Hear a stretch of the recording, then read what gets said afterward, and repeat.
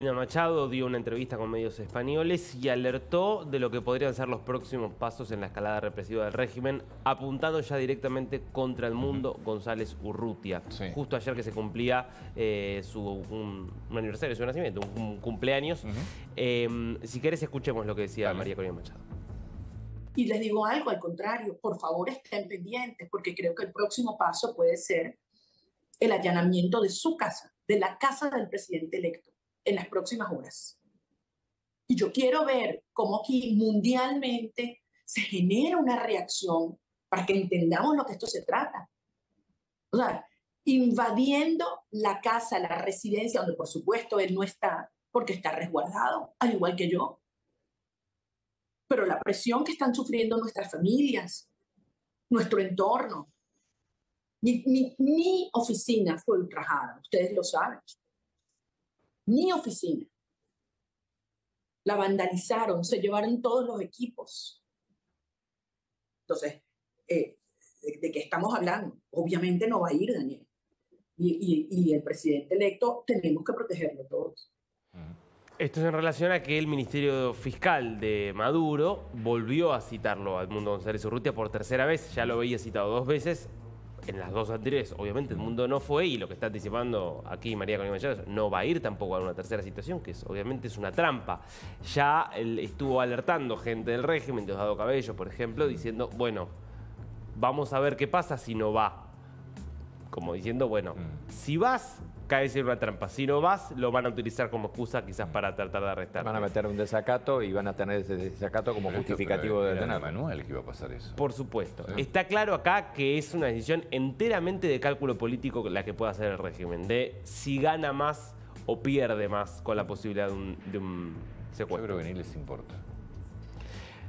A ver, yo creo que en, en concreto no le conviene. Yo creo que el régimen está preocupado respecto del nivel de tensión que se está viviendo en las calles en Venezuela. Eh, y el nivel de presión internacional. No le, para, no le da lo mismo que Brasil, por ejemplo, tenga la posición que tiene, a que Brasil salga a condenar abiertamente lo que están haciendo. Yo creo que quieren tratar de que la- se vaya de alguna poquito, de a poquito disipando la presión. Entonces, si ellos, si es así, ni lo citás ni nada. Si fuera así.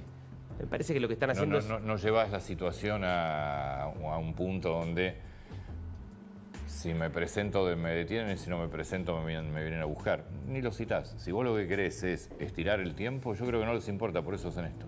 Si no, no lo citás. Yo creo que la, a ver, citarlo es una forma, citarlo y, y toda la presión que están haciendo y secuestrar a los que pueden secuestrar que no van a generar Es tanto que, ruido, Es que no te importa nada. es una forma, me parece, de ir amedrentando cada vez más a la oposición, de lograr, por ejemplo, que el mundo González Urrutia esté oculto, que no vaya a las mu- manifestaciones, entonces de alguna manera sí lo deslegitiman, Entonces, lo si borran no te del mapa. presentás, si no te presentás, mañana sale una orden de detención. Es decir, bueno, ven, no se presentó, Por quiere eso. decir que tiene mucho para ocultar.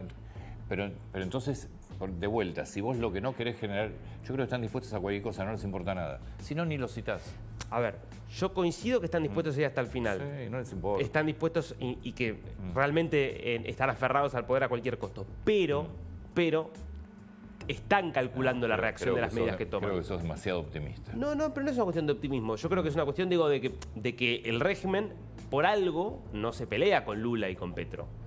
Por algo no salen a atacar a Lula y Petro por... Porque Lula y Petro no los están atacando. No, bueno, pero están diciendo que no ganó No Maduro. importa, pero no lo están atacando.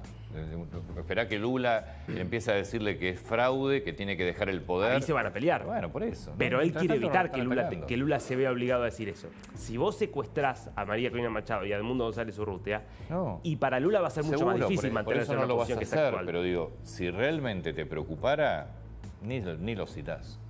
Ni lo citas. A mí me da la sensación de que la estrategia es ejercer, de- digo, de la estrategia parte del régimen es a- acosar lo más posible a la, posi- a la oposición, Sí. amedrentar lo más posible, sin tocar una fibra que pueda generar, digamos, una reacción interna y externa muy fuerte. Mientras tanto, Venezuela est- está una vez más a oscuras, Sí. un nuevo apagón que viene afectando desde hace, eh, ya desde anoche.